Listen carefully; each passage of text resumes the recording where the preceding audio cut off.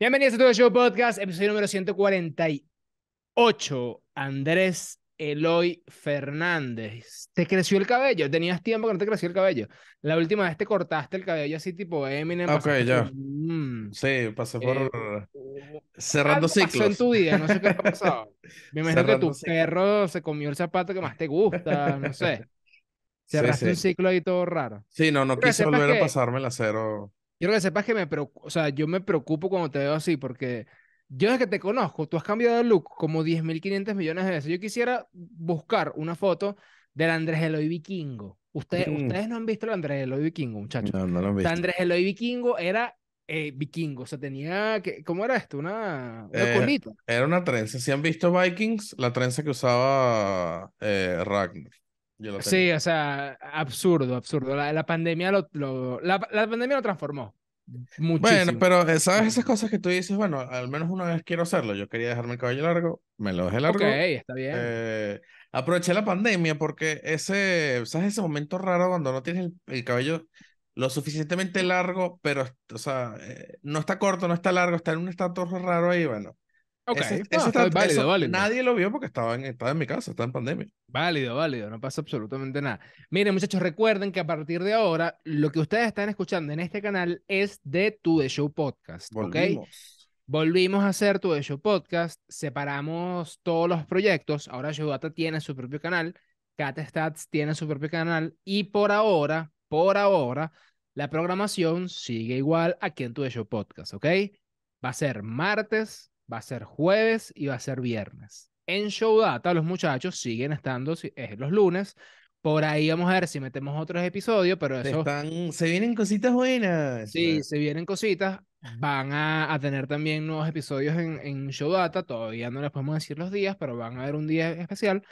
Y CatStats sigue estando los eh, miércoles de manera normal en el canal de CatStats. ¿Ok? Si quieren Entonces- seguir esos canales, métanse. ah, Tienen dos opciones. Se, se pueden meter en, en nuestro canal de YouTube y ah, justo arribita del canal, ahí les va a salir nuestros proyectos y se suscriben a los tres. O se pueden ir al, al, al tab de channels y ahí estamos todos también. Exactamente. ¿Por qué hicimos eso? Porque The Show Goldens va a mutar a lo que en verdad queremos y para lo que en verdad se hizo The Show Goldens, que ustedes no saben todavía lo que es, pero que va a ser bastante cool. Y bueno, eso básicamente a eso se debió la movida de los, todos Sí. los proyectos a sus canales para dejar The Show Goldens limpiecito para todo lo que queremos hacer. eh, ¿Cuándo les hemos dicho a ustedes que tenemos una idea cool y no es cool? Nunca. Exactamente. ¿Cuándo? Nunca. Nunca. Nunca. De hecho, por ahí se viene una sorpresita, pero es que no sé, no sé cómo vamos a hacer porque, eh, eh, no sé, puede, Sí, puede sí, mucha hay, hay que, hay que, sí. Así que, así que a ver cómo lo podemos hacer. que Vamos ¿no? a ver qué hacemos ese. Miren, Sí. muchachos, Liga Mayor de Béisbol Profesional. Recuerden que ustedes pueden ir a ver los juegos de la Liga Mayor de Béisbol Profesional completamente gratis en el estadio de la UCB, si están en Caracas, puede ser también en Valencia, puede ser en Maracay o puede ser en La Guaira, en ese estadio bello, precioso, hermoso que tiene un jacuzzi atrás y detrás del jacuzzi tiene lo que viene siendo el agua, el mar, el océano, en donde cayó un batazo en estos días de, de Wilfredo que dio su primer cuadrangular, pero ya vamos a hablar de eso, justamente por qué. Vamos a ver resultados del viernes, del fin de semana, Samanes Aragua 9, Marineros de Carabobo 8, Guerreros Lara, eh, Delfines de La Guaira suspendido porque llovió bastante, llovió mucho. Líderes de Miranda Senadores también suspendido y Centauros le ganó a Caciques Distrito 7-4 aquí en el estadio de la UCB. El sábado, Guerreros de Lara le ganó 10 a 5 a Centauros de La Guaira. Senadores de Caracas le ganó a Marineros Carabobo 6 a 5. Samanas de Aragua 14 a 5. Qué paliza. Eh, Cheslor está reventando la liga. Sí. La está reventando. Eh, Alexander Palma también le está yendo muy Aunque bien. quieres que te en diga algo, liga. después de la entrevista que le hiciste, fue como medio efecto Catherine ¿En Rosales. serio? No te Sí, sí. No, Eh, pero ya va, bueno, pero, estamos, pero ya estamos va, ya va, hablando, ya ya va, va, ya estamos va. hablando que él estaba bateando 593. Ok. Después de la entrevista, ahorita está bateando No, 400. no, no, no, algo. ya va, ya va. Yo quiero aclarar esto porque la gente de Samanes va a decir que fuimos nosotros. El mismo día Eso que sí. nosotros entrevistamos a Cheslor, él dio Gran Slam. Si después vino otro por ahí o otras personas, no sé, y entrevistaron a Cheslor, a Cheslor y le quitaron el efecto to the show, Bueno, y eso es culpa de ustedes que, lo, que dejan que, que otra gente entreviste a sus jugadores. O ¿Sabes que sea, Yo creo que fue Catherine. Eso de eso, fue Catherine. toda la Bueno, pinta que imagínate. fue Catherine. Ah, ahí está. Entonces, equipo, o sea, si ustedes, si nosotros entrevistamos a un jugador, no dejen que lo entreviste por un rato, porque nosotros le damos el efecto to the show, está probado. Pasó con Renato Núñez una vez, pasó con, bueno, ahorita, ahorita recuerdo mucho con quién pasó, pero pasaba muchísimo. Pero eso Ujú. es que está el efecto to the show más vigente que nunca. Así que no dejen que, imagínate- te imaginas de pana, que lo dicho y que no, no, tú no lo, no, no, no, no, tú Sí, no. sí, después de ellos no, no, nadie. Dos juegos. dos Bueno, juegos. háganlo, háganlo, ey. Sí, O sea, sí. Manas Aragua nos dio a nosotros la, e- el permiso de seguir entrevistando a Cheslo. Vamos a tener que entrevistarlo de nuevo para que el hombre de gran otra vez. Mira, Delfines de la Guaira 6, Líderes de Miranda 5 el sábado, domingo, Centauros de la Guaira 7, Guerreros de Lara 6, Marines de Carabobo 6, Senadores de Caracas 3, Cacique Distrito 4, Samanas de Aragua 7, barrida de parte del equipo de Samanas de Aragua. Esta liga está cool porque si se ponen a ver, eh, Delfines tiene 13 juegos, tiene 9 y 4. Centauros, tienes 9 y 5, o sea, los equipos de La Guaira están ahí. Si se da una final, La Guaira, La Guaira, La Guaira va a ser un fiestón. Va a estar cool, va a estar Sí, cool sí, eso. Pero bueno, falta mucho todavía. Guerreros y Samanes están ahí tercero y cuarto hasta ahora. Delfines, Centauros, Guerreros y Semanes están clasificándose a lo que viene siendo la semifinal para después jugar la final. Recuerden que la semifinal es, eh, si mal no estoy, 5 para 3, si mal no estoy, y la final es que es 7 para 4. Creo que es así, ¿ok? Si no, igual lo vamos a preguntar y para el siguiente formato. episodio. ¿Te gusta ese formato? Qué aburrido, ¿a ti no te gusta el... Mira, tú no te acuerdas, Andrés Eloy, lo que pasa es que tú no te acuerdas, tú tienes memoria corta o no sé qué pasa, o no sé si en ese momento tú no ibas tanto al estadio, no sé. Ujú. Pero es que tú no te acuerdas la locura del round robin que nosotros vivimos aquí en la LVP. O sea, yo, yo me acuerdo que hasta, bueno, el- el- el- la Guaira clasificó casi que en el último día, el último juego contra Sí, sí, Tigres. claro, ahí, o claro. sea, eh, Yo, yo estoy claro, yo estoy claro de eso, pero o sea, genuinamente prefiero un formato playoff. Vale, eh, pero es un aburrido. Eh, O sea, los Leones de Caracas jugando a la una de la mañana, empezó el juego de los Leones, 12 del- de la mañana, contra los Tigres de Aragua. Los tipos no tenían, no, mira, no tenían equipo, no tenían catcher, Freddy Fermín estaba no sé dónde, o sea, no tenían nada. Le ganaron a los Tigres, llegaron acá y le ganaron al Magallanes, que Magallanes nunca le pudo ganar al Caracas aquí en el Estadio Lo Sabe. ¿Y tú quieres que una, una rondita? No, Andrés te falta ah, vi- viveza. Mira, líderes 6 y 7, senadores 6 y 7, marineros 6 y 8 y caciques 4 y 10. El equipo dirigido por Luis Ojo eh, está de último en esta, en esta Liga Mayor. Eh, recuerden que la Liga Mayor se termina en junio. Sí, ya, Junio. fal- falta nada. Eso es ya, se termina en junio. Em, y ya luego viene en julio la, la, semifinal y todo eso. Así que esto es, mira, esto es rapidito. Em, Jesús Vargas es, fue el jugador de la semana.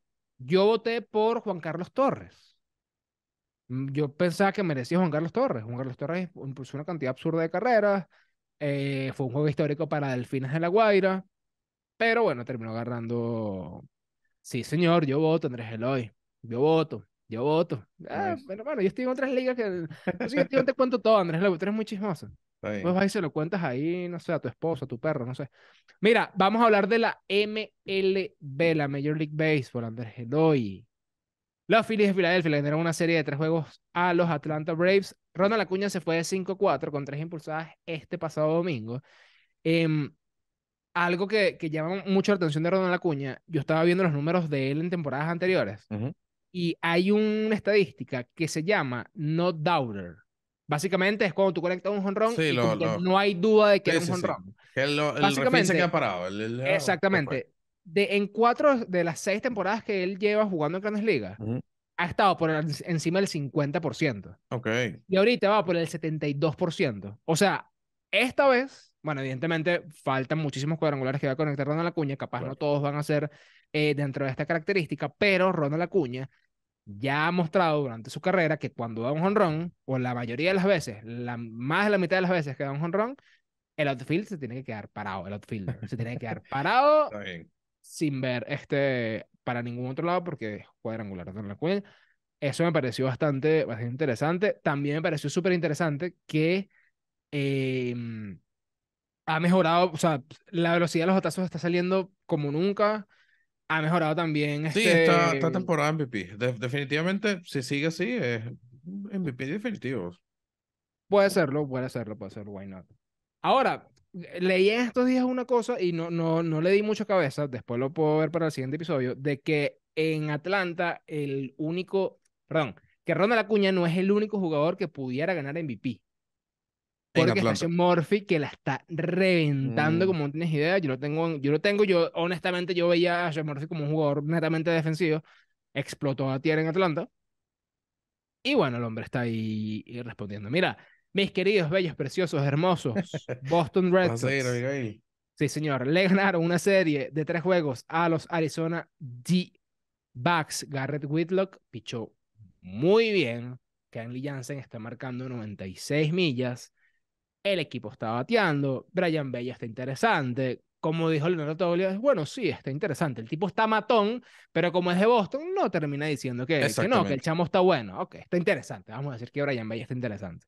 Eh, que La división. La división está la bastante división está muy, muy, muy interesante. Nosotros habíamos dicho, y le preguntamos en Twitter, de que nosotros creemos, creemos que el que va a quedar de último en esta división va a ser Toronto. Y con todo eso, Toronto, si queda de último, va a quedar con mejor récord que. Con mejor récord que el que cualquiera de la equipos, división sí. central, porque, la- bueno, evidentemente de los Atléticos de Oakland, pero eh, de la división central, de la, de la americana, esa división Es que, nunca la termina algo, ganando, o sea, fíjate termina algo. ganando a alguien al final, es absurdo. Sí, sí, sí. Fíjate algo. Nos estamos adelantando un poco en el episodio, pero Toronto, estando de último, tiene el mismo récord del, del primer lugar de la, de la central, de la que es central. Minnesota con 28 y 26. Ujú. Es es una locura. Es una locura. Es así. Mira, los Piratas de Pittsburgh perdieron una serie de cuatro juegos contra los Seattle Mariners. Eh, Dios mío. Eugenio Suárez dejó en el terreno de los Piratas el domingo con cuadrangular de tres carreras en el décimo inning. Le Tabla, ha costado, Tabla. le ha costado batear cuadrangulares esta temporada a, A Gino, sí, a Eugenio este. Suárez. Mm, o sea, a ver, él hasta el año pasado creo que era, bueno, obviamente hasta el año pasado con, con la, con la temporada que tuvo George, era que si el líder de cuadrangulares desde 2019, ya, bueno, claramente no sé si ya es un tema de, sí, lleva cuatro apenas, nada más. No Ujú, sé si ya es un tema, ya es un tema, no creo que sea un tema de desgaste ya por el tema de la edad. Tiene 31 años. Eh, genuinamente no creo que sea eso. No ha tenido suerte, no, no sé. Habría que meterme en su, en su hijo el Savante y ver todo el tema de el contacto, el exit velocity, launch, o- y launch angle. Claro, tú sabes que a mí, evidentemente todo el tema de la sabermetría y todo el tema de las estadísticas eh, me está empezando a gustar mucho más. ahora que tenemos acá Stats en, en la casa. Pero hay veces que yo digo, ok, perfecto. Eh, evidentemente, si Eugenio Suárez no está conectando cuadrangulares es porque bajó su fuerza, es porque bajó la velocidad de su swing, porque bajó este, el ángulo de- del swing bajó. Pero todo eso es producto de una cosa. Eso es lo que yo quisiera llegarle a ese punto. Es como que, ¿qué estás haciendo tú en tu mecánica? Claro. ¿Qué estás haciendo tú en tu día a día que no te está dejando ser el jugador que fuiste eh, hace menos de, de un año?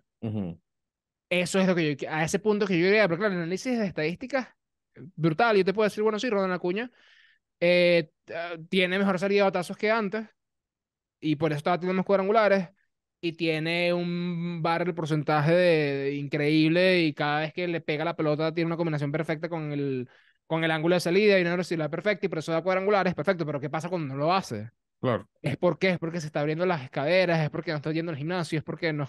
¿Por qué? Es, eh, eh, ahí es donde, a donde, a donde Ah, quiero llegar. ¿sabes ¿no? qué? Es, estamos hablando en, en Showdart. Ok. Eh, ok. Ajá, ¿sabes que estamos hablando en Showdata del caso de Sandy Alcántara? Que estábamos, o sea, les mencioné lo que te mencioné en el, el episodio del lunes pasado, del martes pasado, perdón. Sí. Del tema de que, mira, Alcántara tiene básicamente los mismos números y le está yendo peor. Eh, y Fernando me dijo básicamente que esos, esos, esos, esos stats, básicamente, al ser eh, promediados, eh, eso que lo que dice es, ha tenido muy malas salidas, pero ha tenido un par de buenas salidas que le, que le cuadran todo. Entonces, por Ok. eso no es un tema de mala suerte, simplemente le ha ido mal, pero ha tenido un par de, de buenas salidas, de excelentes salidas que le promedian. Claro, pero no ha sido, pero no ha sido constante para bien. Exacto, es el exacto. tema, Entonces, ¿no? claro, si tú lo ves desde un punto de vista de ves solo los numeritos y no ves juego a juego, tú dices, ¿qué está pasando aquí? Porque tienen, tienen los mismos números del año pasado, pero le está yendo mal. La cosa es esa, que está teniendo una, una temporada pésima, pero ha tenido una, dos, tres, cuatro salidas excelentes que le están promediando esos números a. Sí, bueno, pero como, como, no te voy a decir como la mayoría de los pitchers, pero como muchísimos pitchers también tienen salidas buenas y salidas, y salidas no tan malas. Por ejemplo, Claro. vean a, a Nathan Iovaldi. Nathan Mm. Iovaldi ahorita mismo es uno de los mejores lanzadores de grandes ligas. Pero capaz llega un momento donde vuelve a ser Nathan Iovaldi, Iovaldi normal Claro. corriente, con su efectividad por encima de 4, 3.30 para arriba, y tú dices, bueno, ya está, para esto está Nat- Nathan Iovaldi, ¿me entiendes? Claro. Eh, e- es, un tema. O sea, si termina siendo, si termina siendo Alcántara con una efectividad por encima de 360, 3, 370, Ujú. eh, tú dirías, bueno, pero es que tuvo salidas buenas y salidas malas. Y que bueno, ok, brutal, pero, pero al final tienes estos números que te dejan el resto de la temporada. Y si son malos, son malos. O sea, Claro. no sé. Exacto. Es que, ojo, eh, y lo entienden perfectamente. También es un tema igual que los bateadores. Hay bateadores que son extremadamente buenos durante una racha eh, insólita. De repente vuelven a su nivel y terminan bateando Ujú. 260. Exacto. Pero nada, es cuestión de. eh, eh, no es cuestión de racha, sino es cuestión de que, de que el, el que sea más constante al final. Eh, mira, en la serie del fin de semana, sin duda, fue la de Tampa contra, contra los Un Dodgers. pequeño, Eh, un pequeño preview de la Serie Mundial. No lo sé, ¿eh? No sé. Yo a Atlanta le tengo demasiada fe. Yo a Atlanta le tengo demasiada fe para llegar a la Serie Mundial. Evidentemente, los Dodgers no sé cómo siguen ganando. Tienen a Jason Hayward. Eh, JD Martínez ahora de repente lleva 10 juegos, está bateando demasiado. Eh, Miguel Rojas sigue jugando shortstop eh, brutal. Miguel Vargas sigue haciendo lo suyo. Clayton Kershaw sigue poniendo buenos números. Le falta un gentío en el, en el, en el bullpen y, y le falta un gentío también en- como abridores. Pero los Dodgers están ahí. Sí, sí. Tampa también está ahí. Ahora, vamos a hablar de esto un poquito más adelante, pero los Orioles de Baltimore, ey, cuidado con los Orioles de Baltimore. ¿Sabes qué? Eh, el top, subtop, pro, subtop, top prospecto, Grayson Rodríguez lo bajaron. No, no Lo había bajaron, sí, no lo había. Con todo y eso, o sea, tú dirías, bajaste tú a tu mejor prospecto, no, no dio pie con bola en, en Grandes Ligas, pero mira, los Orioles están ahí. O Lo que a mí me gusta, lo que a mí me gusta de equipos como Tampa y Orioles es que no tienen a la máxima estrella Claro, que tienen otros equipos, exacto. ¿ok? Porque si te pones a ver a Texas, tú dices, ok, Texas está- tampoco Texas es un equipo tan humilde. Está Corey Seager cobrando una cantidad de plata absurda. Ahí está Marco Marco Semien, Semien, ahí ujú. está de Grom. Ujú, ¿sabes? Que complementas con un Jonah Heim, con un Adolis García, qué sé yo, cool, pero ahí tienen plata invertida, Ujú. Texas. En cambio, Tampa y, y los Orioles, hey, se lo Bueno, que currar. Lo estábamos hablando antes del episodio. Tampa es el equipo, de los 30 equipos, Tampa es el número 28 de su En de- payroll. en payroll, sí, tienen, o sea, el total anual de su de su de su payroll son 75 millones. Si Casi tú y yo tenemos más plata que, que Tampa. Casi. com- Casi. Sí, en, en GTA. Sí, en sí, sí. PlayStation. eh, en los Sims con el cheat este de Clubhouse. sí, señor. Eh, Mira. y Baltimore, ey, Baltimore tiene 65 millones. Y fíjate que son los equipos más rendidores de esa edición. Sí, sí, ¿Y Boston señor. cuánto tiene?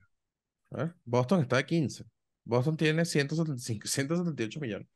Y todos se los dan a Trevor Story y, y a cualquier otro tipo que sea mayor de 35 años. Una cuestión, a Chris Sale, ¿no? Mm, Pero bueno, quieres que te diga. Mira, debutó Tyler, Gla- eh, Tyler Glasnow, eh, cuatro innings y un tercio, ocho ponches, permite tres carreras. También batearon a, a Clayton Kershaw, le hicieron cuatro carreras. Pero ese juego en específico lo terminaron ganando los Dodgers. El, que, el, juego, el juego que fue una locura, el de ayer, el ¿no? juego que fue una locura fue el del domingo, quedó 11 a 10 a favor de Tampa. Ujú. Y duró menos de tres horas. Duró el juego. Entonces, señores, vean, vean. Ese juego, 11 a 10 aquí. de 6 horas. Ese juego 11-10 aquí. Juega, es un Caracas Magallanes. No lo vamos a... ¿Quieres que te diga una cosa? A Caracas Magallanes no puede tener reloj de picheo. Ese es el único juego que te digo, no puede tener. reloj. no, Claro, vale, pero es que un, un Claro, juego eh. 11-10 Caracas Magallanes que, que dure toda la vida. eh, que 3 de la mañana, vida. sí, sí, sí. sí, 3 sí. de la mañana, que dure toda la vida. Que dure toda la vida. Y cuidado si un- con un Caracas La Guaira, ¿viste? Porque ahorita el Caracas La Guaira, epa, Mm, está, está ahí.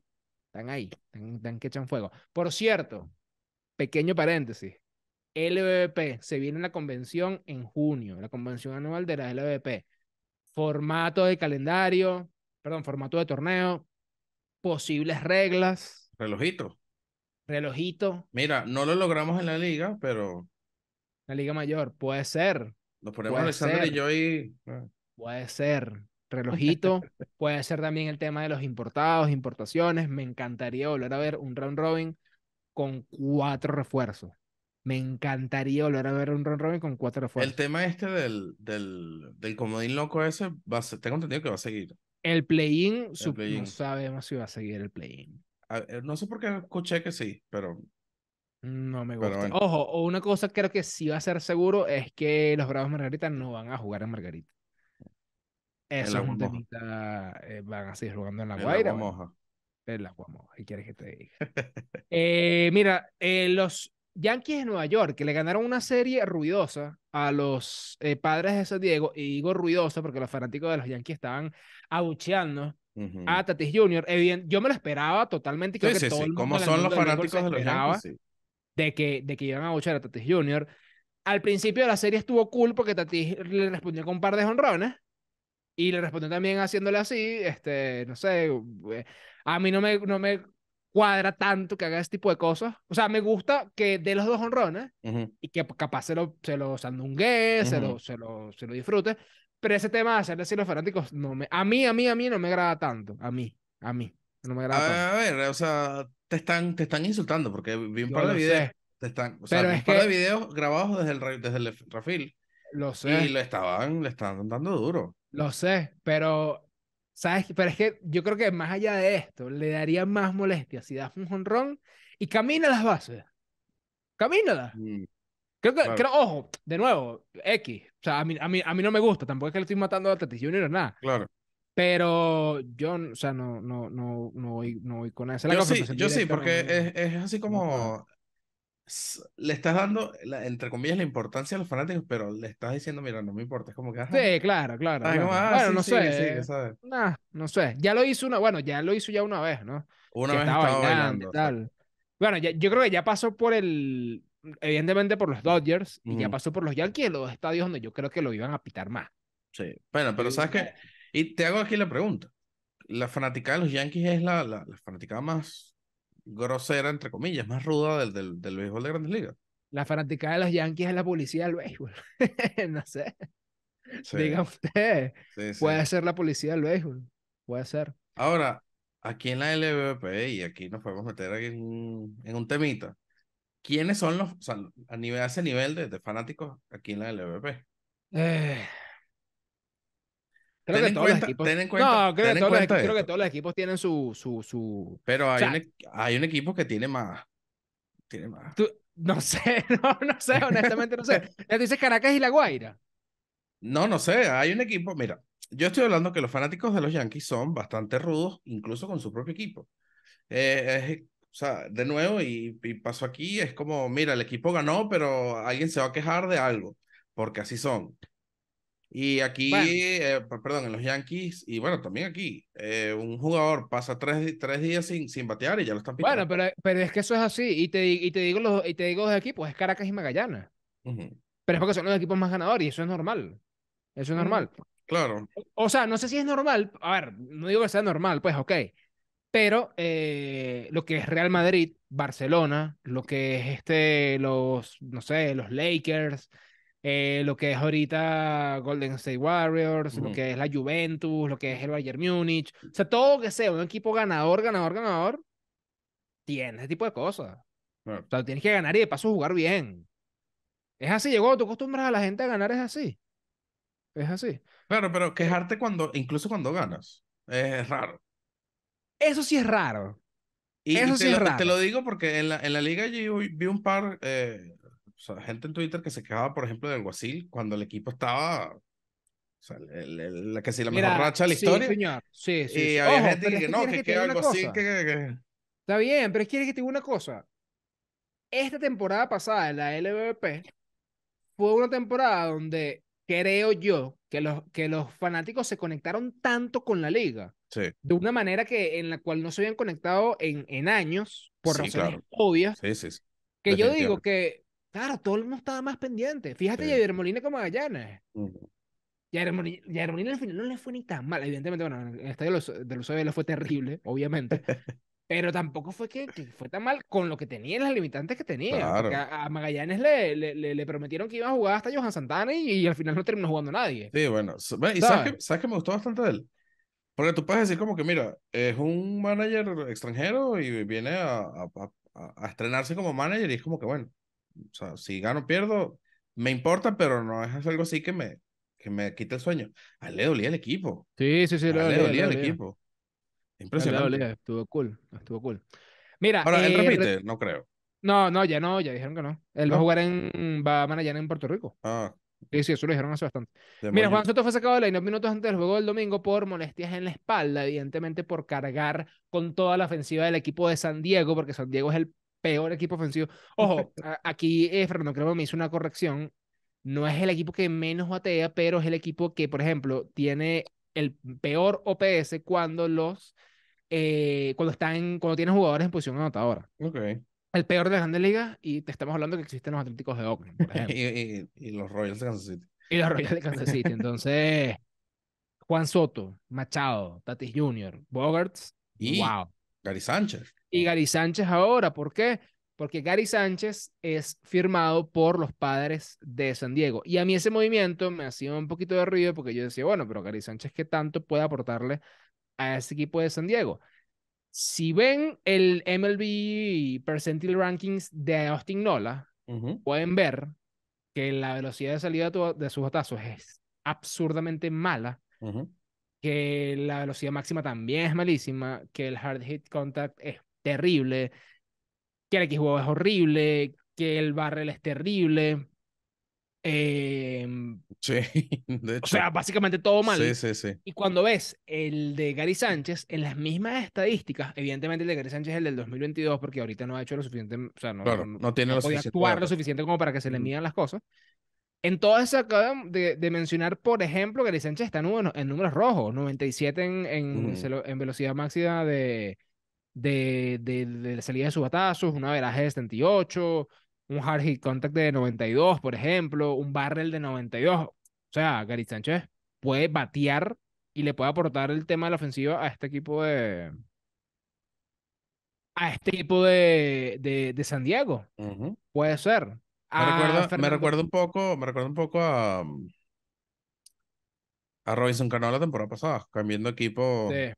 bastante. Pero bueno, no sé, creería que, creería que le puede ir mejor, ¿no? Sí, sí, sí, sí. Eh, él tiene... Tiene como ocho años de, de diferencia. Exacto, exacto, exacto. Eh, mira, em, los Marlins barrieron a los... Dios mío, no puede ser. El Otani Meter bajando. A los Angels, va. el Invitar bajando de nuevo. eh, pero Ben Joyce fue llamado a Grandes Ligas. Recuerden, nosotros hicimos un episodio acerca del draft de la MLB en la temporada pasada, Te escucho horrible. donde hablábamos de Ben Joyce, este jugador de, de la Universidad de Tennessee que Ujú. lanzó 105.5 millas en esa universidad, siendo el picheo más rápido eh, jamás registrado en esa, en esa liga y siendo el picheo, el segundo picheo más rápido registrado en Estados Unidos, por ejemplo, detrás de Harold Chapman, que era 105.8, si mal no estoy. Sí, sí. Entonces, bien por Ben Joyce.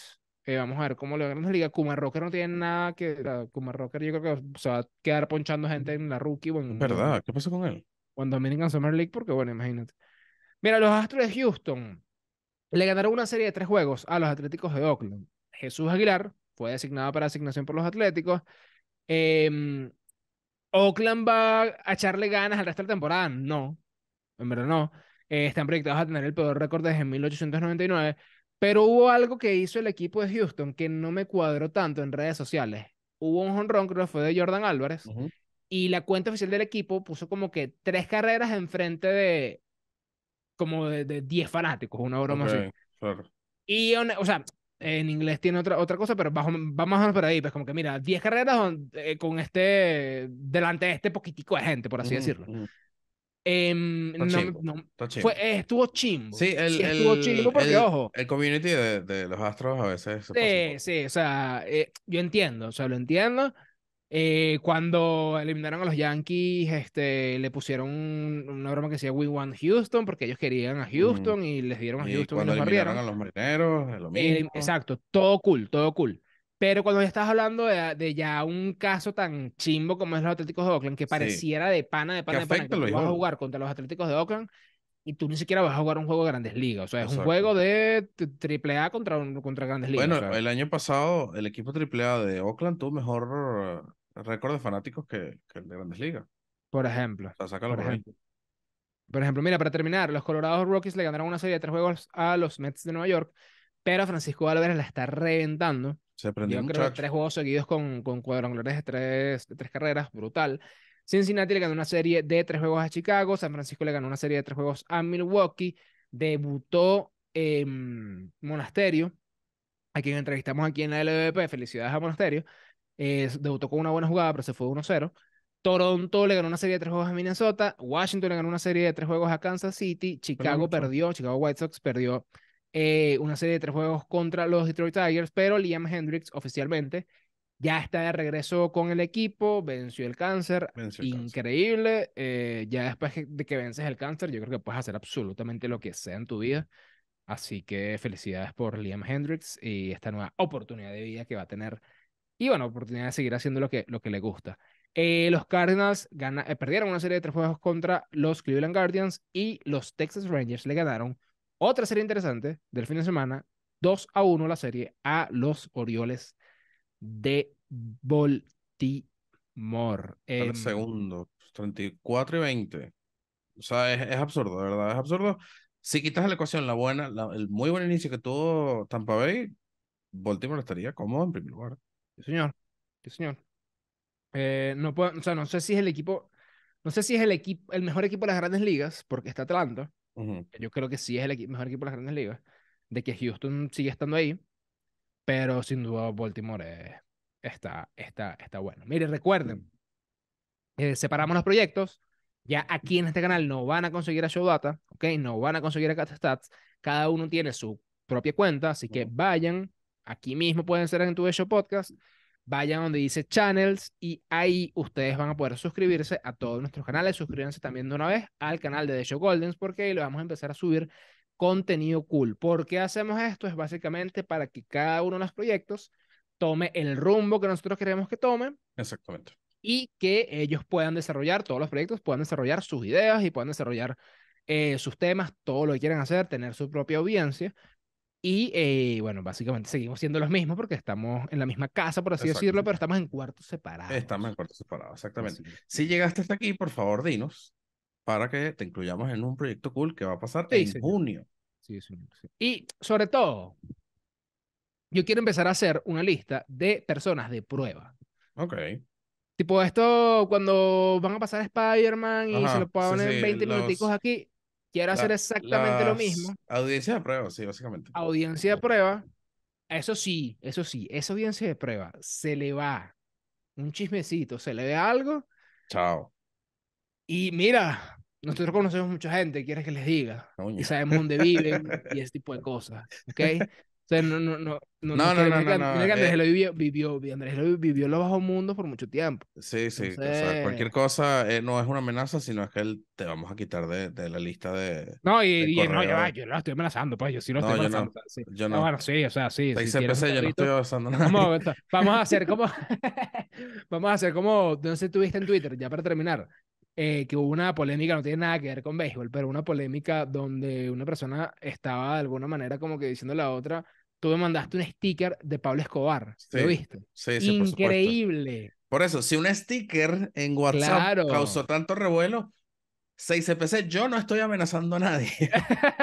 ok está bien tú dices que el CCPC está metido en todos los podcasts béisbol para ver cuál quién se Sí, resbala. claro, a quién, a quién amenaza. Está bien, está bien. Pero nada, muchachos, cuídense, bye y vayan al, a la Liga Mayor, ¿vale? Vayan a ver juegos. Bye. Chao.